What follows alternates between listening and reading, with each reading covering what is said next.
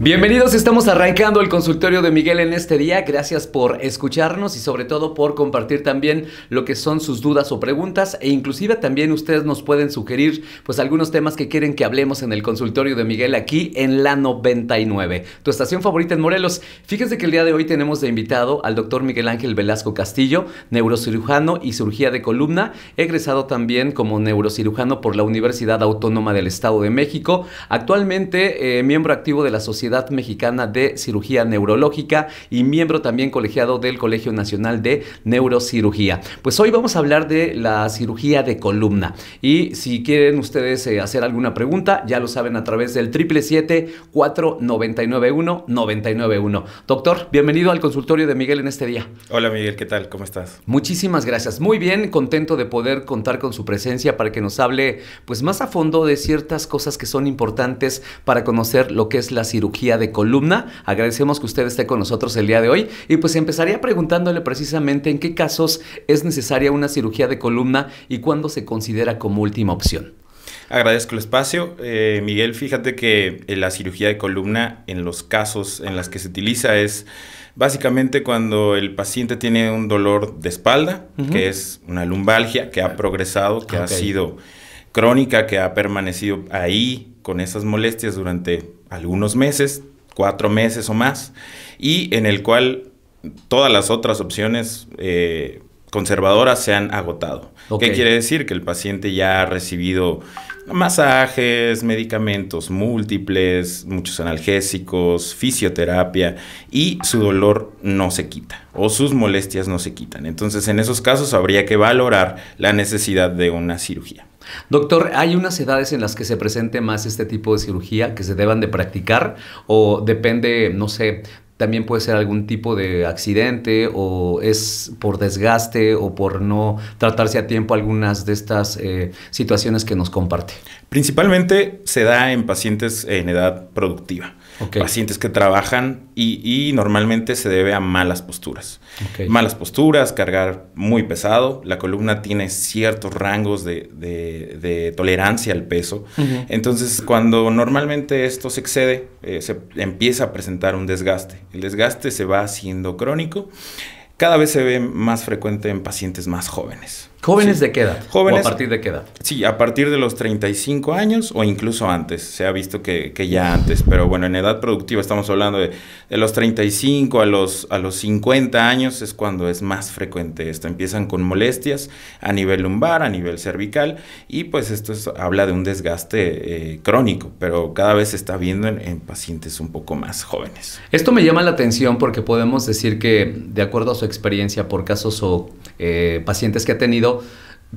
tiene que ver también con algunas profesiones o algunos oficios donde precisamente a lo mejor se cargue de más o se permanezca durante mucho tiempo sentado y además en una mala posición o actualmente también con el uso intenso que tenemos sobre lo que son las pantallas y demás. Doctor, si esto puede ser también una causa si trabajamos en cierto eh, área de, de, las empresas o también si cargamos muy pesado e incluso los que manejan pues alguno de los eh, autos y demás que se dedican precisamente como taxistas.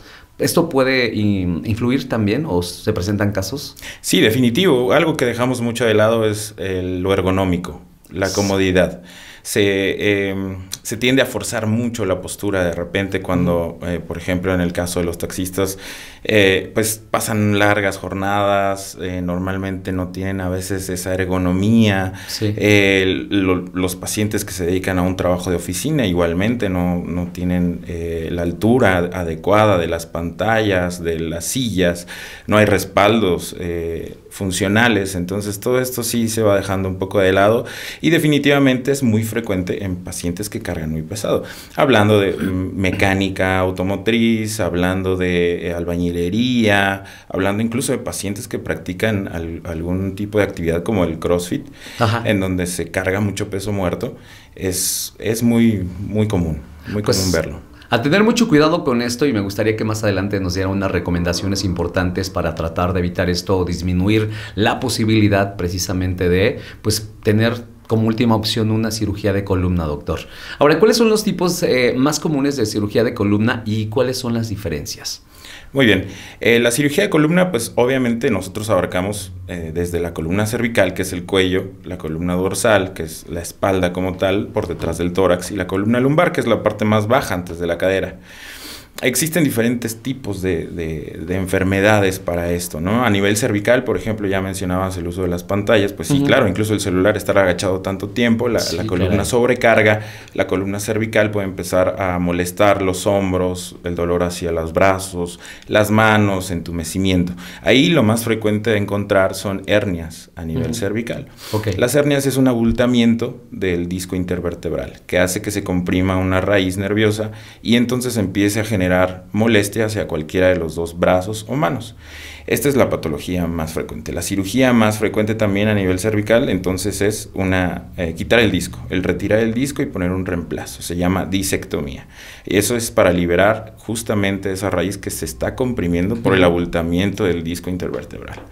A nivel dorsal, lo más frecuente de, encontrar son patologías o enfermedades eh, degenerativas pero también congénitas, por ejemplo, las escoliosis, que hablan de, un, desvío de la columna, es una mala alineación que normalmente es de nacimiento, pero que puede ser acentuada, por ejemplo, en pacientes de, eh, mayores o de la tercera edad, en donde esa, eh, esa desviación se acentúa más con la edad, debido a, pues, el hueso ya no es tan fuerte, los músculos ya no son tan fuertes y se puede observar ese, ese tipo de, de, patologías y a nivel lumbar definitivamente, que es el, el segmento de la columna que más carga, pues se ven con mayor frecuencia un desgaste generalizado que puede dar dolor local por inflamación, a eso se le llama dolor axial o dolor facetario, desgaste de los discos intervertebrales por sobrecarga, y eh, falta de musculatura, obviamente, a nivel lumbar, y hernias también, eso es, eso es lo más frecuente.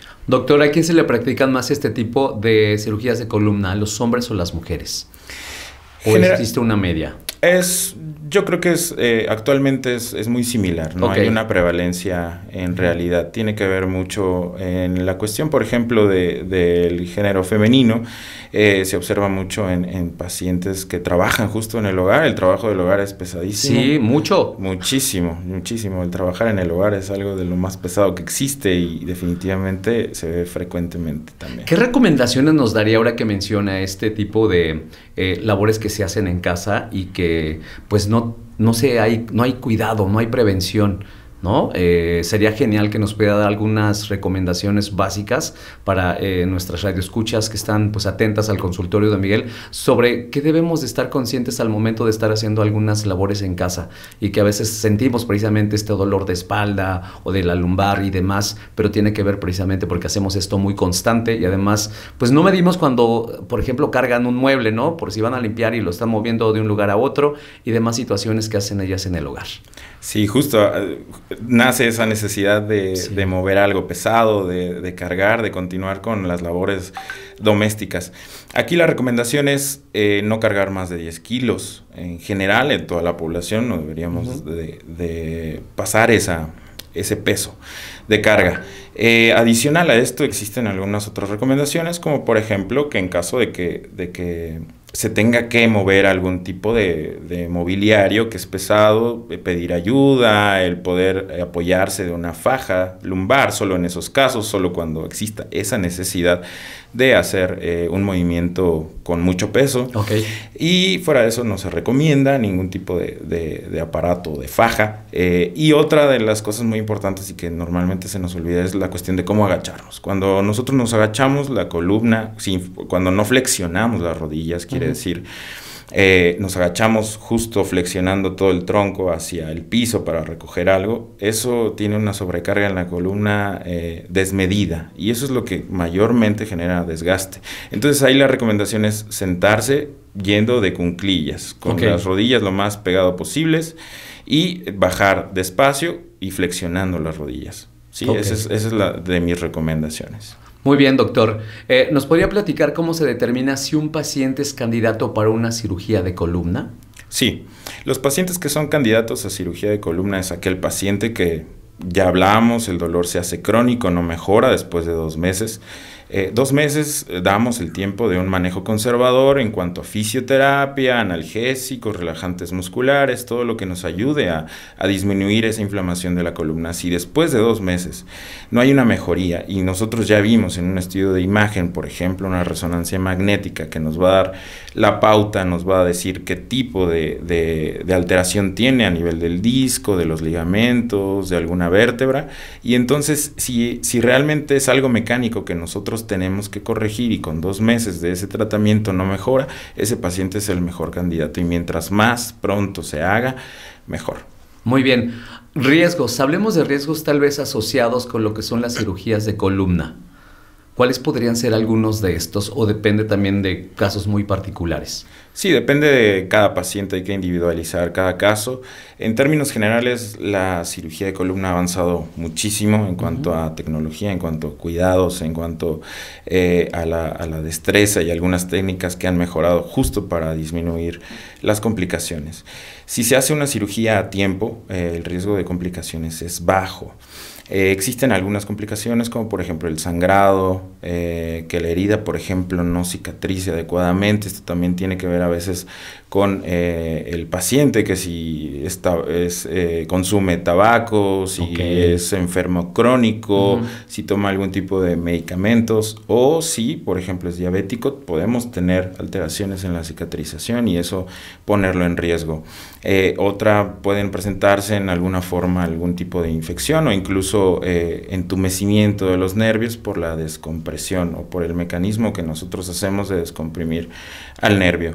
Fuera de eso, existen también muchos otros mitos, como por ejemplo que el paciente no va a caminar, que el paciente uh -huh. va a quedar con muchas secuelas, y la verdad es que eso no, no sucede de forma habitual, o okay. sea, son, son riesgos mínimos muy, muy, muy pequeños. Pudiera existir algún tipo de complicación grave, pero Ajá. son casos que normalmente son muy complejos, que se tienen mucha, mucho tiempo de evolución, que normalmente no se atendieron a tiempo y que, bueno, eso, por eso es importante atenderse, claro. este, prevenir e incluso si se hace la cirugía, pues eh, hacerlo con todos los cuidados y, y toda la prevención posible.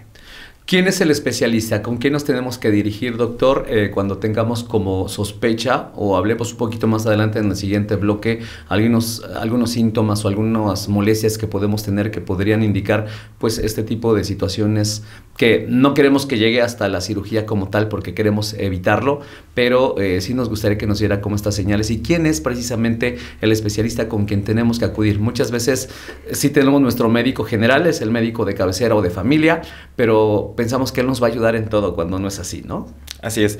Eh, el médico de cabecera, el médico general, eh, uh -huh. normalmente tiene que referir estos casos al especialista, ya sea neurocirugía o traumatología y ortopedia, que compartimos incluso también el, el trato con, con la okay. columna. Uh -huh. No todos habría que investigar bien quién sí eh, tiene este, este, quién ofrece estas cirugías eh, de columna, pero bueno, ambas especialidades okay. podríamos compartir. En este caso, eh, neurocirugía es, es, es una opción. Muy bien. Estamos en el consultorio de Miguel hablando con el doctor Miguel Ángel Velasco Castillo, neurocirujano y cirugía de columna. Precisamente estamos hablando de este tema, cirugía de columna. Si tienen alguna duda, ya lo saben al 777-499-1991 para que nos envíen ustedes eh, un mensaje de voz, eh, un mensaje de texto. Ya saben que es de forma anónima, por si de repente les da miedo, les da pena preguntar, no se preocupen. Lo importante es que lo hagan, porque aquí tenemos al especialista que nos apoya precisamente con información importante para que no quede duda. Pero enseguida, pues ya saben, deben ir con un especialista efectivamente para que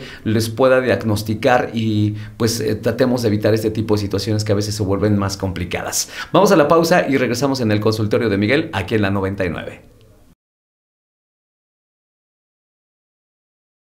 Regresamos con más aquí en el consultorio de Miguel en esta mañana. Gracias por compartir con nosotros sus preguntas y dudas. Está con nosotros el especialista, el doctor Miguel Ángel eh, Velasco Castillo, tocayo además también, así ¿verdad? Neurocirujano es. y cirugía de columna, eh, egresado como neurocirujano por la Universidad Autónoma del Estado de México y actualmente también miembro activo de la Sociedad Mexicana de Cirugía Neurológica, así como miembro colegiado del Colegio Nacional de Neurocirugía. Pues continuamos con algunas preguntas que nos hacen llegar también nuestra audiencia, doctor, respecto a qué avances tecnológicos han mejorado pues lo que es la seguridad y efectividad de las cirugías de columna en los últimos años.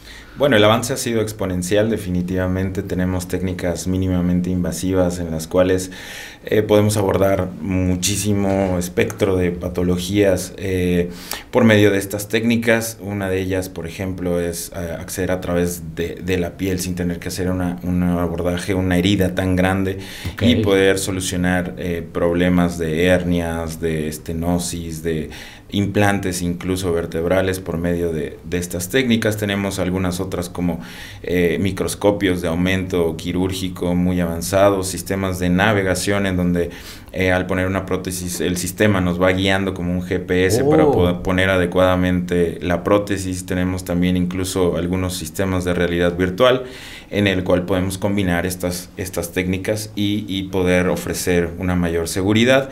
Eh, así como instrumentos como el endoscopio o artroscopios que, nos han eh, dado muchísima ventaja en cuanto a la óptica y sobre todo el, abordaje cada vez mm, pues, más pequeño. Pues maravilloso todo esto que nos cuenta, porque de verdad es que se ha avanzado mucho en este tema, la tecnología en el tema de las cirugías de columna. Me sorprende, por lo que escucho, eh, pues que ya puede ser mucho más fácil practicarla, ¿no? Y con mayor seguridad también.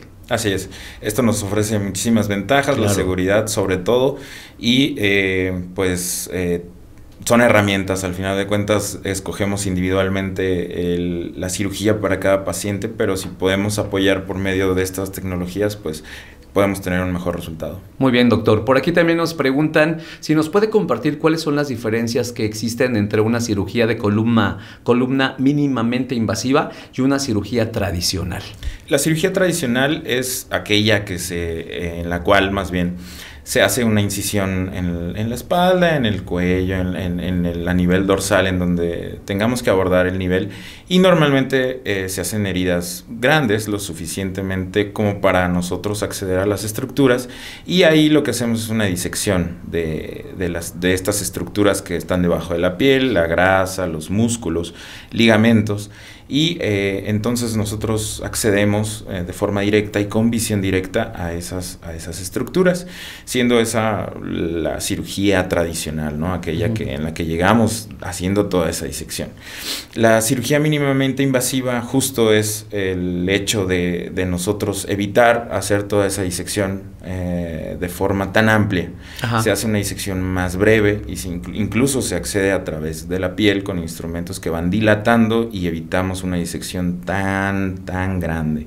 Eh, podemos tener apoyo de, luz dentro de esos instrumentos para poder observar también de forma directa o indirecta por medio de microscopios, endoscopios, sistemas de navegación o sistemas eh, de realidad virtual en donde nosotros estamos observando todo ese todo ese espacio y llegamos hasta, hasta esa zona. Esa es la, diferencia. Al final de cuentas, lo mínimamente invasivo, eh, tenemos que escoger bien al paciente candidato, evidentemente, y, e individualizar cada caso, cada caso para poder ofrecerle eh, lo mejor. Y al final de cuentas, lo mínimamente invasivo es lo que necesita el paciente para resolverlo podemos o no podemos hacer una cirugía tradicional, pero si lo tradicional es lo que el paciente necesita, pues eso es lo mejor. Ok, perfecto. Entonces es muy particular y muy personalizado, ¿no? ¿Cuánto tiempo suele durar el proceso de recuperación después de una cirugía de columna? O igual también depende del tipo de cirugía. Depende del tipo de cirugía. Normalmente nosotros estimamos un proceso de cicatrización aproximadamente entre los 15 a 30 días una vez realizando ya sea una cirugía tradicional o una cirugía de, mínima invasión. Este tiempo se tiene que cumplir para que todas aquellas estructuras que fueron manipuladas, que fueron disecadas, tengan un proceso normal de, cicatrización. Una vez cumpliendo esto, podemos individualizar el caso e iniciar una rehabilitación a los 15 días posteriores de la cirugía hasta un mes posterior de, de la cirugía. Todo esto eh, con algunas recomendaciones. Eh, que me gustaría que nos las diera, porque de repente nos desesperamos ya, ¿no? Y ya queremos levantarnos y hacer nuestra vida como la hacíamos antes, y no es así. Y en ese caso muchas veces puede ser bastante perjudicial si no seguimos sus recomendaciones, doctor. Sí, pasa que los pacientes también se confían mucho. Eh, recuperan esas molestias, se recuperan bastante rápido, se les quita el dolor y vuelven a tener una actividad eh, normal, cotidiana. Entonces estos 15 a 30 días que te mencionaba es justo para tener un reposo relativo en el cual el paciente puede hacer actividades no necesita estar completamente en reposo, puede hacer actividades, pero no debe cargar pesado, no debe de agacharse, no debe de, estar con actividades eh, forzosas o, con ejercicio eh, intenso.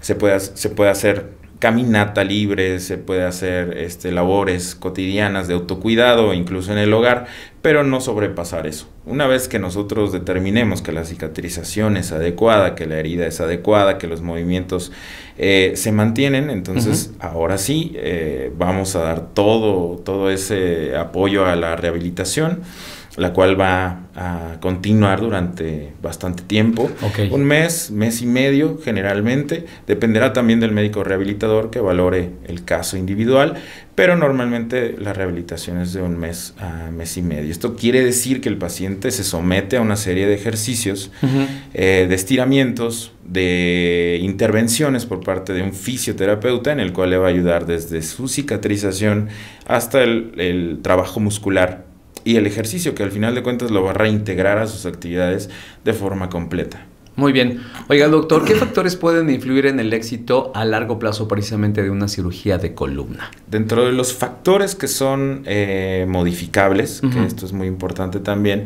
es hay, hay, pacientes, ya lo mencionaba, el tabaco puede acelerar ese proceso degenerativo de la columna. Entonces, los pacientes que se someten a una cirugía de columna definitivamente tendrían que dejar el, el tabaco a un lado. Otro es la obesidad. La obesidad es de los, de los grandes temas que hay que tratar. Necesitamos ser muy estrictos. Si se tiene un grado muy alto de obesidad y se tiene un problema de columna, definitivamente tenemos que intentar llegar al peso ideal lo más pronto posible ya sea antes o después de una cirugía, pero es prioritario que después de una cirugía se controle el peso. Eh, mucha gente también o muchos pacientes eh, tienden a eh, estar mucho tiempo en reposo. se confían, están muy tranquilos. bueno, yo ya me operé de columna y, y, ya no puedo hacer tantas actividades y eso implica también que no hacen tanta actividad física, pero ya lo mencionábamos, el hecho de, de una rehabilitación puede reincorporarlos y puede eh, incluirlos incluso en algún tipo de actividad constante que haga que, esto no suceda. Entonces la obesidad es otro de los factores muy importantes a tomar en cuenta, así como el control de todas las enfermedades eh, que el paciente pudiera tener crónicas, ya sea diabetes, hipertensión. Eh, y bueno, esos son principalmente esos factores modificables. Por aquí nos preguntan cómo manejar el dolor después de una cirugía de columna. El dolor se maneja principalmente con analgésicos. Ok. Eh, podemos utilizar relajantes musculares, podemos ocupar eh, analgésicos convencionales, así como una combinación de estos. En algunos casos puede ser eh, prioritaria la necesidad de de incluir medicamentos más fuertes, controlados, incluso con, parches o, tomados, en donde tenemos que disminuir la intensidad del, dolor de forma eh, prioritaria posterior a una cirugía para que el paciente esté libre de, molestias. Otra forma de, mejorar esto es a través de... Eh, complementos como por ejemplo el complejo B, podemos utilizar terapia de frío y calor en la zona, y algunos anestésicos incluso locales para disminuir la molestia en la herida. Muy bien, estamos platicando, platicando con el doctor Miguel Ángel Velasco Castillo acerca de eh, cirugía de columna y hace rato mencionábamos algunos de los mitos, nos mencionó eh, dos de ellos. Existen más mitos alrededor de lo que es la cirugía de columna que pues, debemos de desmitificar, obviamente, pues, con un profesional eh, de la salud y con la experiencia que usted tiene, doctor, ¿qué otras cosas de verdad hay que dejar de lado y más bien sí centrarnos en nuestra salud y acudir con un especialista como usted? Así es, hay muchas, eh, incluso personas o, que ofrecen ciertos tratamientos sin cirugía. Esto no siempre es benéfico. Son técnicas que al final de cuentas no están basadas en, un método científico que, que ofrecen o prometen muchísimas cosas y la verdad es que de repente puede ser eh, solo eh, pues mentiras, en realidad no, no siempre se puede. Hay pacientes en los que eh, las molestias pueden ser muy leves y les puede ayudar y hay otros que tienen problemas muy serios y van a llegar con nosotros eh, demasiado tarde. Uno de los mitos es ese, el que yo me pueda curar sin cirugía con algún tipo de especialista, entre comillas, que en realidad no, no, existe, no existe esa, esas técnicas, esa es una. otro, ya lo decíamos, el hecho de que el paciente va a dejar de caminar. Eh, o que va a dejar de mover una extremidad. Eso es muy, muy frecuente. Eh, normalmente esto pudiera llegar a pasar cuando la lesión es muy, muy extensa, es muy intensa, o que se debió a un tipo de, de trauma, de algún tipo de accidente de alta energía, en donde normalmente las estructuras se pueden llegar a perder, ya sea médula o nervios que puedan generar eh, una parálisis, pero esto sucede desde el momento del accidente. No es común que, que, al someterse a estos procedimientos alguien deje de caminar. Eso es, eso es otro mito.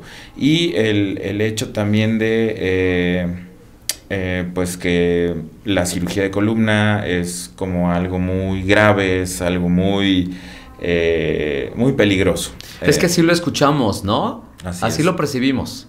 Sí, se percibe como algo muy, muy grave. Ya mencionábamos todas estas técnicas. Incluso hay procedimientos que se hacen de forma ambulatoria, que quiere decir que el paciente llega y el mismo día que se hace el procedimiento puede irse a su casa.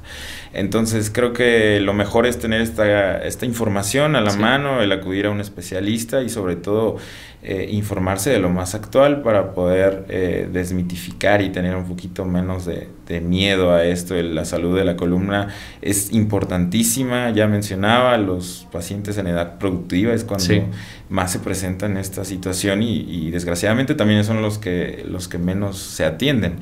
Entonces, bueno, hay que ponerle muchísimo, muchísimo importancia a la salud, algo que, dejamos de lado y que al final de cuentas, si se hace progresivo, si se hace crónico, pudiéramos ahora sí tener un daño muy importante, muy severo, que pueda dejar una secuela, pero propiamente por el avance de la enfermedad, que no se atendió. ¿Cuáles son de las preguntas o dudas que más les hacen sus pacientes dentro de su experiencia, doctor, en el consultorio? Que llegan y se están preocupados por algo y a lo mejor no va por ahí la situación. Sí, eh, se preocupan mucho cuando empiezan con ciertas molestias, eh, dolor lumbar, dolor que se va hacia las piernas. Entonces, esto de repente piensan que ya necesitan una cirugía. Esto no es así. Nosotros tomamos eh, el caso, se toma al paciente de forma individual se, valora, se tienen que hacer muchos estudios de extensión o algunos estudios de extensión en donde tenemos que investigar, no de primera instancia vamos a ofrecer una, cirugía. Lo primero es siempre un tratamiento conservador en donde el paciente se le tiene que indicar ejercicio, eh, dieta, mejorar el peso, eh, analgésicos, mucha fisioterapia, estiramientos y si con eso es suficiente, nosotros pues no deberíamos de, hacer nada más ni ninguna otra cirugía, pero llegan muy preocupados porque dicen, bueno, es que ya necesito una cirugía, por ahí alguien me dijo es que ya te tienes que operar y, en realidad esto no es así, vamos paso a paso y si definitivamente eso no sirve, bueno, vamos al siguiente, al siguiente paso, a la siguiente opción. Muy bien, ahorita nos están pidiendo ya sus datos, doctor, ojalá regresando del bloque nos pueda dar formas de contacto para que algún pacientes o posibles pacientes o gente que está interesada en más información pueda contactarlo. Mientras tanto, vamos a la pausa aquí en el consultorio de Miguel. Recuerden, estamos hablando con el doctor Miguel Ángel Velasco Castillo, neurocirujano y cirugía de columna. Hoy el tema es cirugía de columna aquí en la 99. Regresamos ya con el bloque final. Regresamos ya con el bloque final en el consultorio de Miguel en este día. Gracias por todas sus preguntas a través de lo que es nuestro WhatsApp. Recuerden ya agregarlo al 777-4991-991 para que puedan ustedes hacer las preguntas a nuestros especialistas. Hoy hablando de cirugía de columna con el doctor Miguel Ángel Velasco Castillo. Doctor, pues nuevamente agradecerle que esté con nosotros y nos están pidiendo sus datos para poder contactarlo. ¿Cómo lo podemos contactar? Gracias nuevamente por el espacio.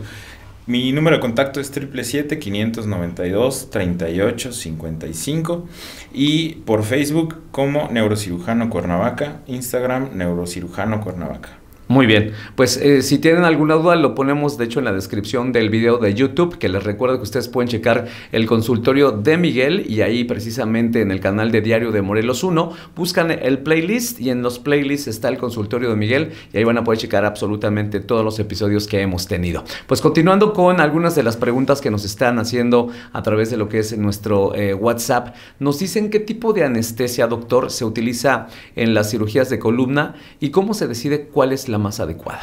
La más adecuada es, es depende del procedimiento. Hay procedimientos, eh, ya, ya decíamos, percutáneos o ambulatorios en el cual al paciente se le puede ofrecer una sedación ligera. Quiere decir que él va a estar dormido, no es una anestesia general, no va a tener ningún tipo de instrumento o para apoyarlo a respirar, ni mucho menos, simplemente va a estar dormido y con anestesia local. Este tipo de procedimiento se hace eh, en procedimientos ambulatorios, cuando se tiene que corregir o cementar algún tipo de fractura lumbar, cuando se hace algún tipo de bloqueo que ayuda muchísimo al dolor, ya sea preoperatorio o posoperatorio, en el cual solo se utiliza anestésico y se, se inyecta a través de, de, la piel hacia algunas estructuras de la vértebra y nervios que pasan por ahí. Eh, esto se puede utilizar eh, una sedación o una anestesia local. En general, eh, los procedimientos que implican algún tipo de, de, implante o cirugías tradicionales se utiliza una anestesia general. Muy bien. Eh, algo que nos preocupa, complicaciones que tal vez pueden surgir o son más comunes durante y después de una cirugía de columna. Sí, durante la cirugía de columna eh, tenemos estructuras muy importantes como vasos, arterias, venas muy cerca. Son estructuras que tienen muchísima irrigación en, la cual puede presentarse algún tipo de sangrado. Normalmente se corrige al momento de detectarlo. Ok. Eh, dependerá también del abordaje que se haga. Hay abordajes incluso que se hacen hacia nivel lumbar por la parte anterior del abdomen en donde tenemos algunas otras estructuras como eh, estructuras del riñón, de, eh, de, las vísceras abdominales. Eh, siempre se tiene muchísimo cuidado, mm, pero no está de más decirlo que sí puede llegar a, haber algún tipo de complicación con estas estructuras involucradas y posteriormente de las más frecuentes eh, complicaciones pudieran ser incluso un poquito de anestesia a nivel de la herida, en la región de la piel, dolor, dolor en, la, en el sitio quirúrgico, dolor con cambios de temperatura, es muy frecuente también. Eh, estos son los, los principales, aunado al entumecimiento tal vez de alguna extremidad. La duración aproximada de una cirugía eh, de columna, ¿cuánto es? Aproximadamente es de hora y media a dos horas. Hay procedimientos muy cortos, eh, infiltraciones que ya hablábamos, poner anestésicos locales en los cuales tardamos 20 minutos, eh, procedimientos percutáneos o de mínima invasión en donde podemos llegar a tardar una hora, hora y media. Okay. Y cuando se hacen reconstrucciones muy grandes eh, de la columna, de muchos niveles, ahí sí podemos tardar incluso hasta 6, 8 horas. Muy bien. ¿Cómo se evalúa el éxito de una cirugía de columna a largo plazo? El éxito a largo plazo es posterior al, periodo de rehabilitación, dos meses y medio posteriores a, la rehabilitación de este paciente que fue sometido a la cirugía o hasta seis meses después. Eh, el éxito lo valoramos cuando el paciente se reintegra al 100%, por lo más cercano a sus actividades normales y que las molestias hayan disminuido o que hayan eh, tenido un muy buen porcentaje de mejoría. Estamos hablando por arriba del 60 o 70% de mejoría de, de, esa, de esa sintomatología. Obviamente después de este periodo puede haber todavía mayor mejoría, pero es más o menos el periodo en el que nosotros podemos ver si la cirugía fue exitosa. ¿Cuándo debemos de acudir precisamente con un especialista como usted, doctor? Cuando estamos presentando ciertas molestias o dolores en qué parte, eh, en qué partes de nuestro cuerpo y pues, no alarmarnos, simplemente acudir, como bien lo dice, con un especialista como usted. Sí, todos aquellos que presenten eh, algún tipo de molestia a nivel del cuello, en la parte posterior, al final del día o cuando ya están durmiendo, que sientan cierto contractura muscular a nivel del cuello, que se pase hacia los brazos que incluso sientan como eh, una sensación eléctrica hacia, hacia, alguna de las extremidades de los brazos, eh, entumecimiento también de los dedos. Eh, mucho cansancio a, mitad del día, eh, a nivel del cuello. Eso, es, eso puede traducir un problema a nivel de cervicales. Otros de los datos es ese dolor ardoroso que lo conocemos como ciática, que va de la región lumbar, de la parte baja de la espalda hacia el glúteo y se continúa hacia las piernas. O aquellos pacientes que ven que eh, el, el, hecho de caminar una distancia que normalmente caminaban la tienen que acortar para poder restablecer establecer otra vez la marcha, que ya no caminan las distancias que caminaban antes y que se asocia a un dolor en la parte baja lumbar, pues todos ellos necesitan acudir a una valoración. Muy bien, doctor. Pues ya por último, eh, preguntarle, ¿cómo puede un paciente prepararse mental y físicamente antes de someterse a una cirugía de columna. Eh, regularmente siempre estamos como muy preocupados por la situación física, pero la mental no. Y sí, pues existe siempre el miedo o el temor, ¿no?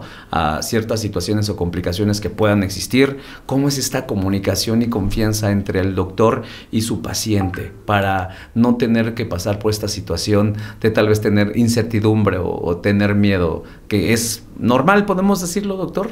Sí, es normal, es, es muy angustiante. Eh, la relación médico-paciente juega un, papel fundamental en el cual les tenemos que brindar toda la seguridad, explicarles de forma detallada qué es lo que vamos a hacer, cuáles son los riesgos, las complicaciones, qué es lo mejor para, para este caso, qué es lo mejor para él, qué no vamos a arriesgar, qué podemos ganar.